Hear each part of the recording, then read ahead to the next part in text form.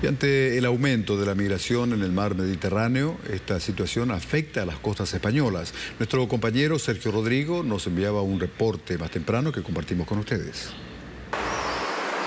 Bueno, efectivamente se incrementan los flujos migratorios de nuevo en el mar Mediterráneo. En las costas italianas, en concreto en el canal de Sicilia, se han rescatado más de 2.000 migrantes por parte de la Marina italiana, la Guardia Costera italiana y apoyados también por embarcaciones inglesas, alemanas y maltensas que en estos días están rescatando a los migrantes que atraviesan el mar Mediterráneo en esa ruta migratoria entre las costas libias y el sur de Italia. Aquí también en las costas del sur de España, en concreto entre los flujos entre el norte de Marruecos y el sur de España se han incrementado estas últimas horas con más de cinco embarcaciones de plásticos que han sido rescatadas por salvamento marítimo. Más de 116 migrantes son los rescatados en las últimas horas en el mar Mediterráneo. En concreto, son la gran mayoría varones. Eso sí, se habla también de 16 mujeres y dos menores que han atravesado el mar Mediterráneo a través de las balsas de plástico. Preocupa su futuro porque aquí los migrantes están siendo detenidos y trasladados a las comisarías provinciales tanto de Almería, Málaga y Tarifa, que son las principales, los principales puertos de estas rutas migratorias del mar Mediterráneo entre Marruecos